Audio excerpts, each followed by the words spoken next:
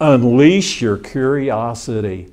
Have you ever noticed how when you're in a great movie and things are intense on the screen, you're literally sitting on the edge of your seat like, wow, what's going to happen next? Or you're reading a book and it's so intense, you're just flipping the page, reading as fast as you possibly can, trying to get there, trying to learn.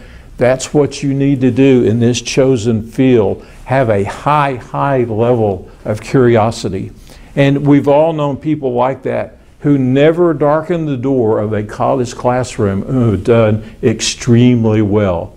I have a younger sister that got into insurance, was 18, married early, was casting about for a job, and I had a friend that worked for Blue Cross Blue Shield in Dallas.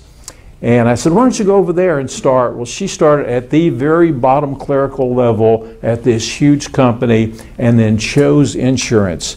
At one time, she was making a lot more money than Big Brother.